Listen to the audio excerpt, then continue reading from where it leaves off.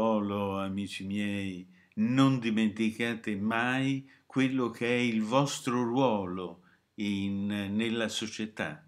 Siete arrivati all'apice di una carriera, avete, avete conquistato posizioni, diciamo, di, di rilevanza pubblica. Eh, c'è un ruolo che voi dovete, dovete interpretare, vi dovete comportare adeguatamente al ruolo che avete raggiunto.